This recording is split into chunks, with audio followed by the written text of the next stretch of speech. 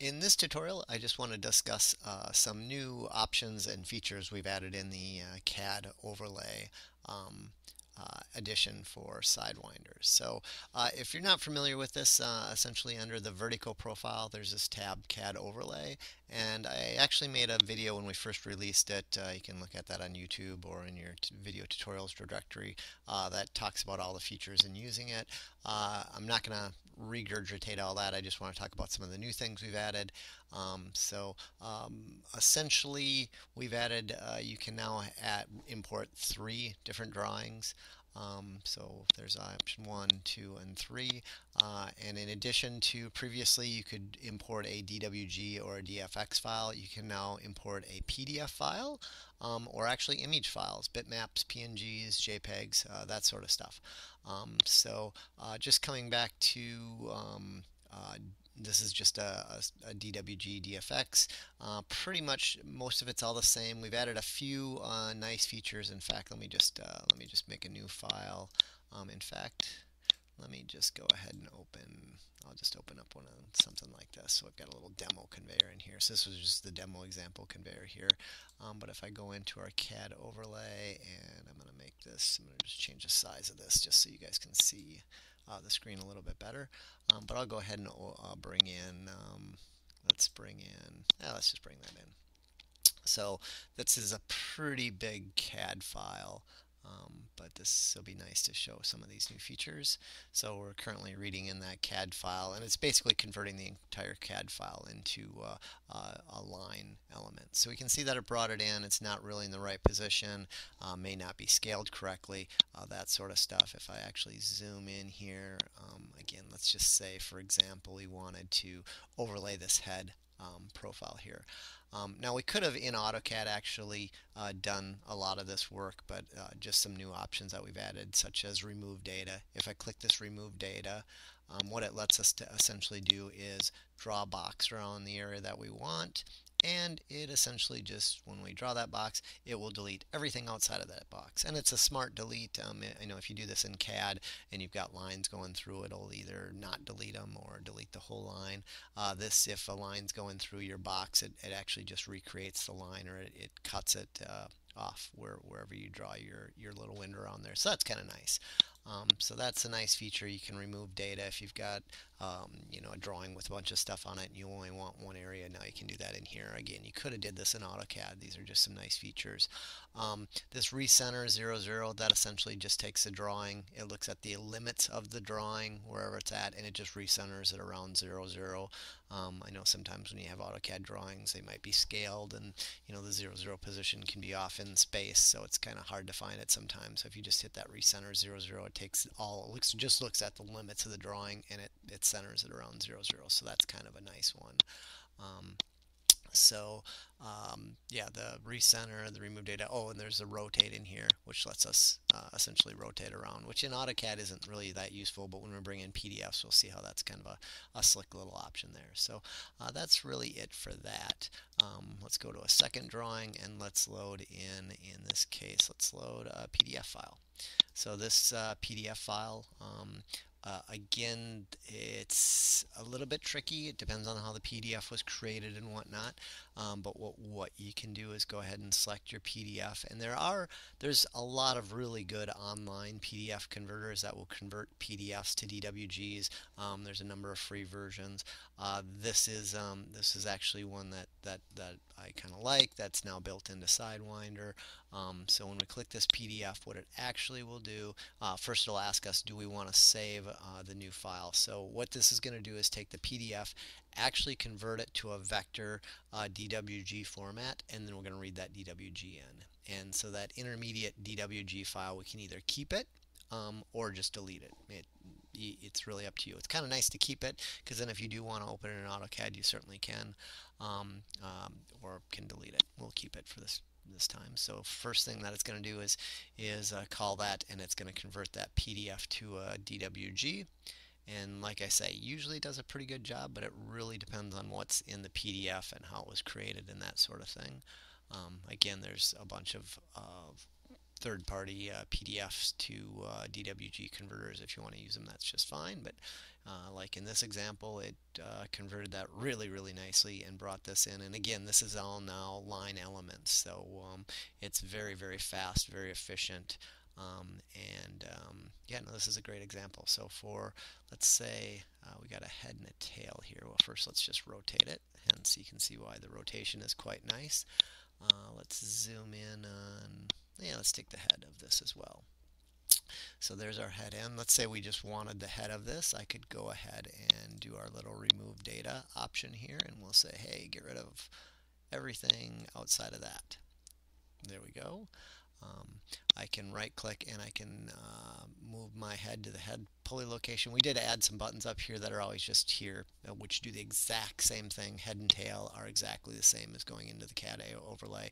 I didn't put selected ele element location on there uh, just because that one's uh, a little bit less used. You can still get to it by right clicking, but if I just say my head position is right there, we'll reset this. Let's zoom into right there and um, you know there we go. Clearly we now need to scale this and whatnot which brings up another new feature which is quite nice. So if I come down here and I look uh, we know that this happens to be 20 meters. So previously you needed to know what the the drawing uh, the CAD drawing scale was which isn't a bad thing. And you know usually if you got an AutoCAD uh, the DWG or DFX you usually know what the scaling is. But with the PDF uh, it's not quite so easy um, so we actually added a little button here to just say set scale. So I can click this little set scale.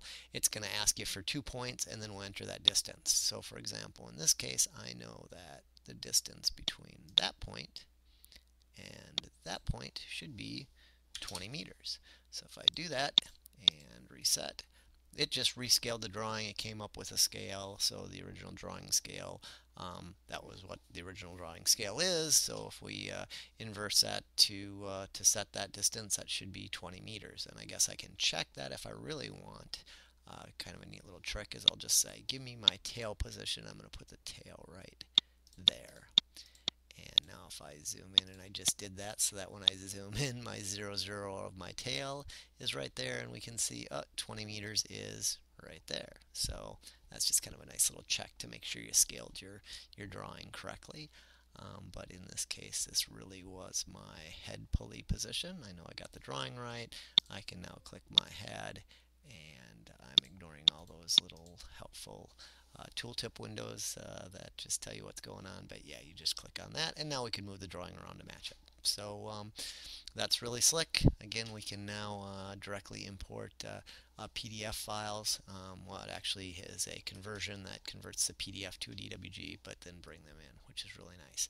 Um, and uh, the final option that we've added is the ability to come down here. So again, AutoCAD, PDFs, or photo files. So this can be a, a PNG, a bitmap, a JPEG, uh, whatnot. If you just have a drawing, I know this is quite common as well. Uh, somebody scanned this in and sent you the drawings or whatever, and you don't have it in any kind of vector format, but you just have it as a as a, uh, a image file. And uh, there is some software out there. There's a lot of third-party packages again that will take picture files and they will vectorize it and whatnot. Um, in this case, we essentially just take the drawing itself and what I do is I actually take that image and I properly scale it uh, to the limits of this window, um, which is a little bit tricky, um, but it seems to work really well. Um, and again, we have a scale factor here. If we if we know that scale, we can enter it. Um, in this case, I don't know it. Um, and um, we can come in here and we can see this is just a picture file. I can do that same thing. Uh, that's actually our 20 meters there again, so I can set my scale based off of the picture. And I can go from there to there. And that's 20 meters. And that just corrected the scale to make that distance on my picture 20 meters. So I know that that that scaling is now it's scaled properly. And of course all the other commands I can do uh, my head position or put it at the tail or wherever I want to uh, to overlay that drawing. So this is um, yeah a pretty slick feature that I hope uh, hope you guys like and enjoy um, uh, again, we have the option to uh, save everything with the CAD file. Now, it is important to note that the, the image file is not saved as part of the Sidewinder file. It will be saved, um, the, the the drawing name and the full file directory will be saved. In fact, if I go ahead and do this, I'll just save this as, um, um, we'll call this test for now. And if I went and made a new file, so test is gone, and now we'll just go ahead and reopen test. Um, so now we just reopen the file.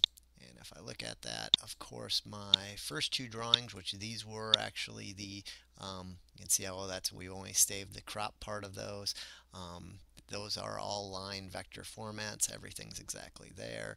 Uh, the image file reset is there, but it reloads that that picture that we had wherever that was located. Now, if you delete that picture, um, uh, or whatever. Change that picture if, you, if, if it's not there. Sidewinder, when you go in to, to load that up, it'll just say, hey, can't find this image anymore. So the the vector stuff, if you if you brought in a PNG or DWG or DFX, whatever, that is embedded in Sidewinder.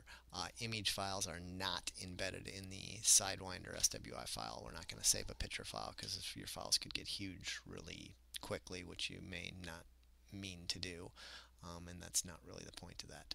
Um, but um, but yeah, I think uh, hopefully people find this really useful. I know we had uh, uh, a few different users uh, request uh, to be able to read in the um, the picture formats. So um, yeah, like I say, hopefully you guys find this useful, and certainly if you have any uh, comments or suggestions, let us know. Oh, one thing I should definitely mention on picture files is you need to use one-to-one -one aspect ratio. So we the scaling is the same for the X and the Y direction of your image. Um, so if you come into Sidewinder, for example, right here, and I don't use a one-to-one -one vector scaling, and I reset this, um, you know how Sidewinder you know, can see this is a different scaling. It's not one to one. The picture will always still be scaled to one one to one. We don't stretch that uh, vertically uh, to correct for that, and I, I don't think we even want to. The point is, is if you're bringing in an image, uh, you should be using the one to one aspect ratio for both uh, both the x and the y direction for your picture, because that's I think generally going to be the case. But again, looking for feedback. So, all right, thanks. Have a good day.